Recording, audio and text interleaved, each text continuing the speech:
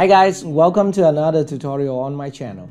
In this video, I'm going to show you how to take a video screenshot with Filmora 11. Okay, so it is very simple, just some step here. And if you don't have Filmora 11 yet, I will put the link in the description for you to download or to upgrade to this latest version. And if you want to purchase the software, don't forget to use my 20% discount coupon code in the description. Okay, so let's go to my computer screen. Alright, so now I'm inside Filmora 11 and first thing first, if you want to take a screenshot of uh, the screen or the preview window, you need to put the playhead at the position where you want to take a screenshot. So maybe it is the best frame in your video.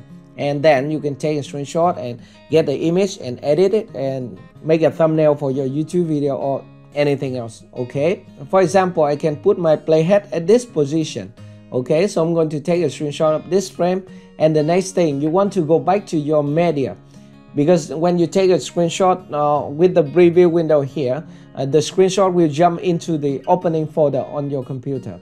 Uh, on your software i'm sorry. So be sure to open the media folder and then select folder and then when you take a screenshot uh, the image will be saved in here in this folder.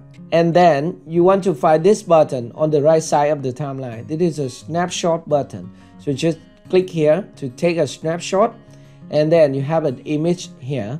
Okay. Now you can right click at the image and then you can add it to a new track on the timeline. For example here I can have a image of this one and if you want to find it on your computer, all you need to do is to right click at the image at the media folder and then select review in Explorer.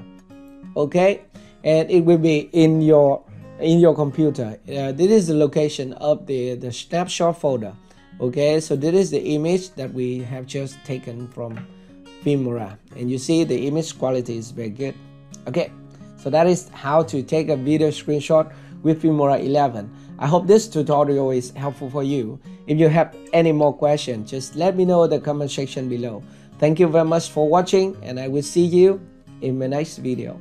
Goodbye.